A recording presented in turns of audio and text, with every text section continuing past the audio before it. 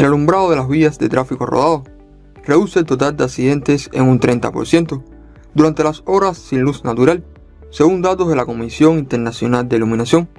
Por lo tanto, es de vital importancia contar con una iluminación vial que cumpla las exigencias normativas, que por si no lo conoces, Dialog dentro de sus tantas opciones permite hacer el cálculo de iluminación de carreteras, el cual te voy a enseñar a realizar en este curso.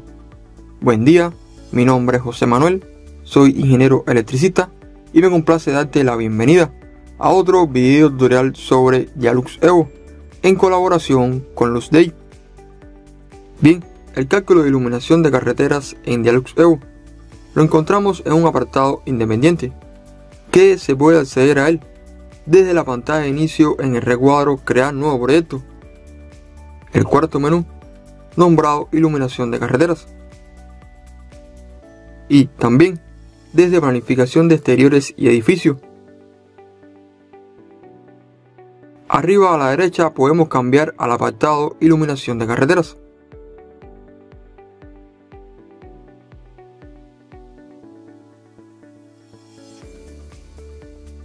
Entonces bien, ya nos encontramos en iluminación de carreteras, que como puedes apreciar, su interfaz o su apariencia, como prefieras llamarlo, es algo distinta a planificación de exteriores y edificios. Tiene menor cantidad de menú y también menos herramientas. Comenzamos en el menú proyecto, el cual es igual para ambos apartados. Después tenemos planificación, que tiene tres herramientas. Le sigue resultados,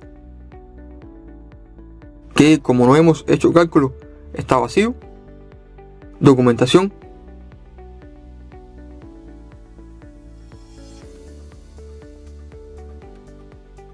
que es algo distinto a un proyecto interior o exterior. Y marcas,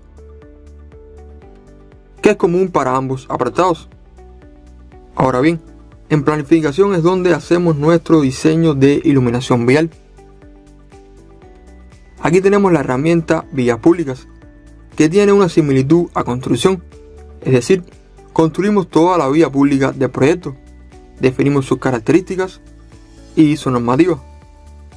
Debajo viene selección de luminarias,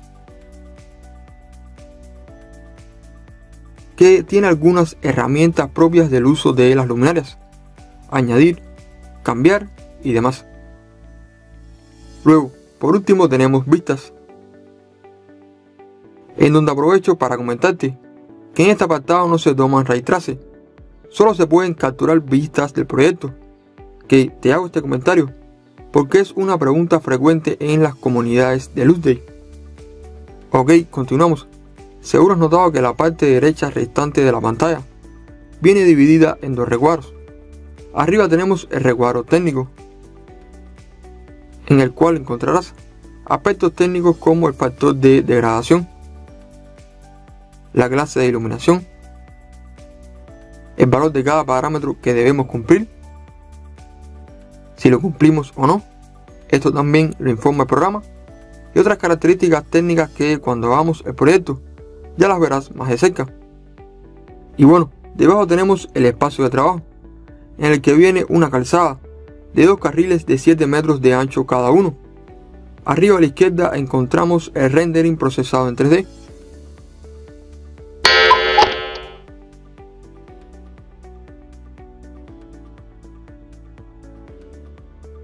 La vista de planta.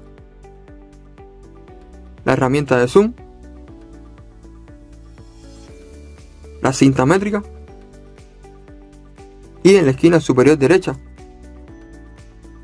las opciones de visualización, que son pocas. Entonces bueno, ha sido todo por este video introductorio a la iluminación de carreteras. Que si quieres aprender a realizar un proyecto de este tipo, te invitamos a que no te pierdas este tutorial. También no olvides que cualquier duda puedes dejarla en los comentarios y trataremos de responderte en la mayor brevedad.